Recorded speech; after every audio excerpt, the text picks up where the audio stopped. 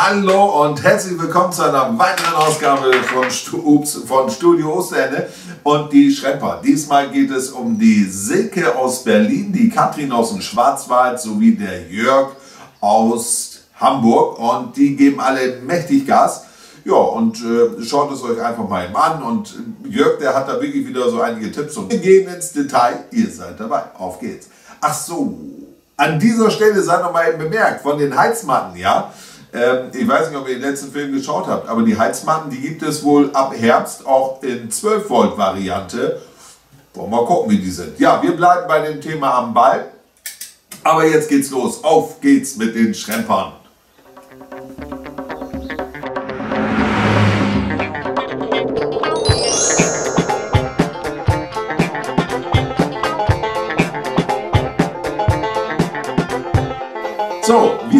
Direkt mit der Katrin aus dem Schwarzwald und äh, hört selbst und ich finde es immer wieder herrlich, ne? Achtet mal drauf. Hallo alle zusammen, mich gibt's auch noch. Ich habe auch wieder ein bisschen was gemacht. Ähm, und zwar die Verkleidung außen habe ich dran gemacht, soweit es ging. Hier muss ja noch geschweißt werden. Da habe ich es noch weggelassen. Ich habe das ähm, schwarz matt lackiert gehabt und eben geflickt gehabt. Das habt ihr ja schon vorher in einem Video gesehen. Den Leichenfüller habe ich jetzt auch überall dran, außer an den Türen. So. Auch alles schwarz. Da muss ich die Kofferraumklappe noch montieren. So, die zweite Seite. Ja. Hat relativ gut funktioniert. Was nur ist, irgendwie haben die Verkleidungsteile nicht mehr ganz gepasst. Dadurch, dass ich hinten das Blech neu gemacht habe, muss ich das irgendwie verbunden haben. Auf jeden Fall war das nicht so einfach. Ähm, ich hoffe, man sieht es nicht so ganz. Ähm, da überlappt es eben nicht so arg, wie es soll, aber ich lasse das jetzt einfach so. Es hält, es wird nicht wegfliegen und basta. Hier habe ich es auch schon dran.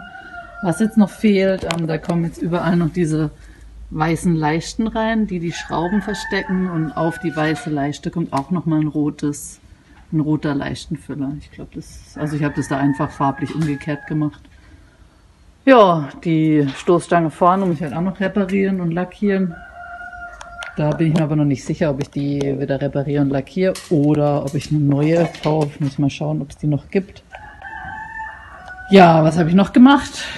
Überall diese garstigen, blöden PVC-Bänder hier neu reingemacht.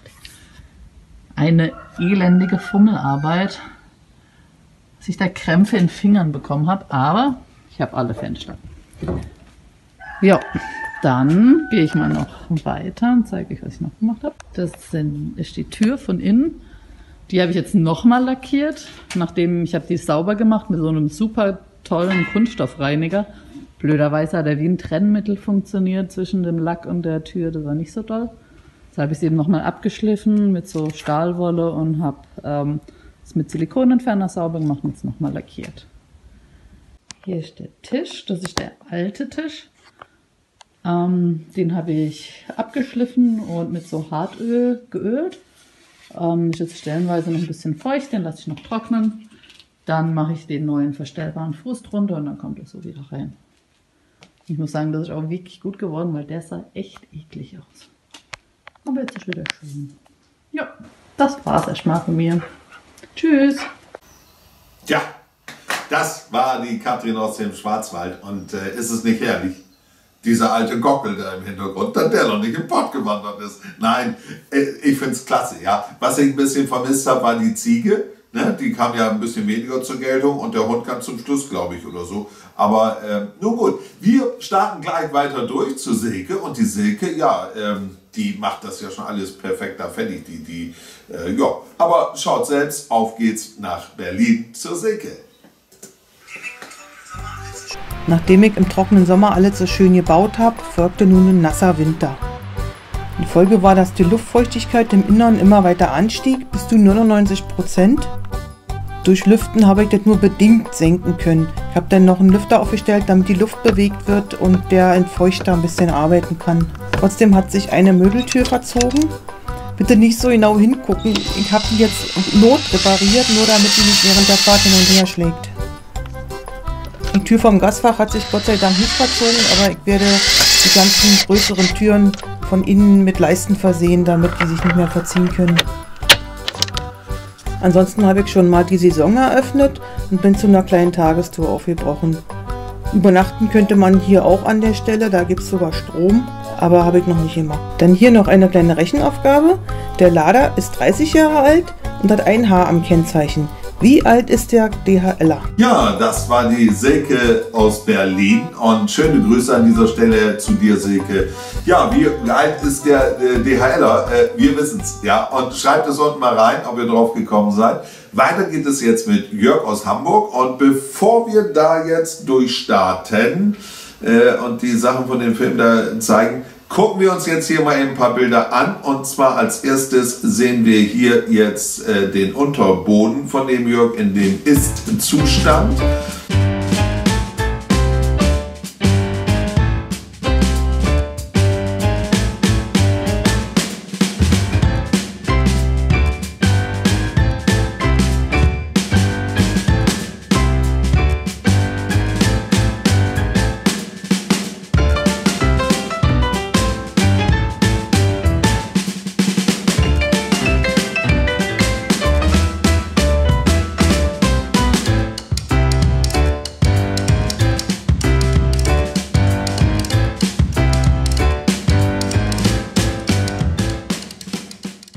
Guten Morgen, ihr Schremper.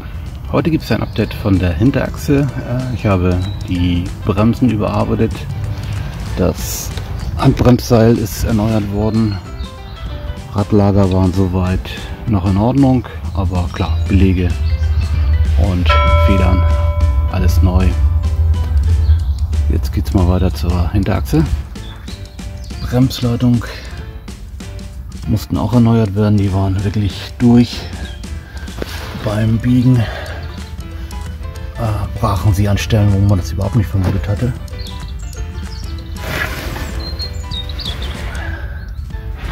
Ja, da ich hier schön im Garten liege, also alles im Liegen.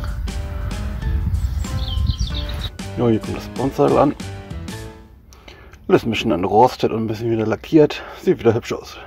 Für diesen Bremskatzregler fehlt mir leider hier noch diese Manschette, die hier unten runterkommt die ist leider ein bisschen zerbröselt. Leider kriege ich die nicht mehr. Ich muss mal sehen, dass ich die irgendwo herkriege. Also falls jemand sowas noch rumliegen hat, würde ich mich freuen, wenn er sich bei mir meldet. Also mal von der anderen Seite. Ja, neue Stoßdämpfer sind auch noch reingekommen. Wenn ich schon dabei bin. Der Halter hier war komplett weggegammelt. Musste ich einen neuen anschweißen, habe einen Gewinde reingemacht. Auch wieder schick. Ja, an dieser Stelle will ich hier mal eben mit reinspringen. Hier sehen wir die Krafteinleitung für den ALB. Das, der ALB ist die lastabhängige automatische Bremskraftstärkenregelung, die dem, ähm, der Bremskraft sagt, äh, ob das Fahrzeug beladen ist oder nicht. Und da gibt es ein Sicherheitsblech, das war völlig vergammelt, das habt ihr eben gesehen. Und das hat der Jörg dann auf ein Stück schwarzen Blech, also die Reste davon gelegt, mit schwarzer Farbe übergesprüht. Das ist diese Bilder, dann die Bohrungen gesetzt und danach ausgeschnitten. Und äh, nach dem Ausschneiden hat er das Ganze dann dementsprechend hingebogen, dass er dort ein neues Sicherheitsblech hat. Und äh, das sind so diese Kleinigkeiten, die wir also absolut klasse finden, was er da macht. Ne? Hat er die ganzen Bremsleitungen ausgetauscht gegen neue, das sehen wir hier. Da äh, hat er sich selber welche gekauft und äh, hat die dann umgebürdelt. Ne? Hier sehen wir jetzt nochmal den automatisch lastabhängigen Bremskraftregler, Einleitung. Da kommen die Bremsleitungen ran. So, und der stellt dann den Druck ein, wenn wir vorne auf den Pedal drücken, ja, dann gibt er dementsprechend mehr oder weniger Druck hin. Äh, das heißt nicht so, also es ist so aufgebaut, das Gerät, dass ihr immer Druck hinten auf den Bremsen habt. Aber wenn der beladen ist, dann kann er den Druck erhöhen, dass der dann nicht ähm, ja, dass der nicht so schnell hinten zum Blockieren kommt. Darum geht es eigentlich. Ja? Wenn man die gleiche Last hinten hat, wenn er voll beladen ist, muss man, kann man ja hinten mehr Druck drauf geben wie unbeladen. Und wenn er zu leicht ist, sollen die Räder ja nicht permanent blockieren. Und dafür ist dieses Bauteil, was der Jörg hier in den Händen hält. Und der, der löst das Ganze aus und diese Stange, die, die da jetzt drin ist, die ihr da seht, die ist dafür da, dass er den rein und raus drückt. Genau, in die Richtung. So ist es, Jörg. So, hier sehen wir die vordere Scheibenbremse, die wirklich hier in einem äh, ja, nicht so schönen Zustand ist. Und man wundert sich immer, was man da so rausholen kann. Da sehen wir schon, wie der Jörg das Ganze ausgebaut hat. Das liegt auf so einer Sackkarre. Das Ganze, da ist die Achswelle zu erkennen, also die Antriebswelle ist da zu erkennen. Und hier hat er eine Menge Teile bestellt, wie neue Manschetten und diese Gummiteile, die da neu kommen. Ja, hier sehen wir, wie er alles lackiert hat und ähm, entrostet vorher. Und ja, ähm, die Gummimuffe muss rein und dann muss die Hülse eingepresst werden. Und das ist nicht so ganz einfach. Und das sehen wir hier im nächsten Bild. Da hat er eine Gewindestange durchgesteckt und oben eine Nuss drauf und somit drückt er als erstes erstmal die Gummimuffe in diese, äh, wie heißt die Stange, in diese, in den Querträger und jetzt als nächstes sehen wir, wie er jetzt diese Eisenhülse hier hineinpresst, auch wieder mit der Gewindestange. Und da sehen wir schon, ja, da ist die Hülse schon fast drin. Ja, und im nächsten Bild sehen wir, wie diese Gummimuffe mit Eisenhülse drin ist. Und das ist auch wichtig, weil es anders natürlich nicht äh, funktioniert. Ne? Denn, äh, ja, hier sehen wir jetzt nochmal das Federbein komplett, der Stoßdämpfer, also der ist neu, die Federn, das andere ist alles so geblieben, natürlich die Bremsscheibe neu, die Gummimanschetten und sowas neu, aber das andere, also die anderen Teile hat er alle entrostet und, äh, und äh, auch der Bremssattel, der sieht natürlich echt klasse aus, das muss man wirklich sagen und äh, wenn wir uns das hier mal wirklich angucken, so, also äh, spitze, ne? also super entrostet und ich glaube, der macht das mit äh, mit Essigsäure, also Essigsäure und ein Teil Wasser. Also das äh, geht wohl sehr gut zum Entrosten. Ja, und da äh, mal gucken, ob wir uns da vielleicht nochmal ein Film schicken. So, wir wünschen einen, wir bedanken uns fürs Zuschauen. Wenn es gefallen hat, lasst uns einen Daumen hoch oben hier, äh, einen Daumen hoch da. Äh, ja, so will ich sagen. Und wir sagen bis dann, Osterende. Tschüssi. Und schaltet wieder ein, ne? wenn es da heißt, wir gehen ins Detail und ihr seid dabei. Ja, tschüss.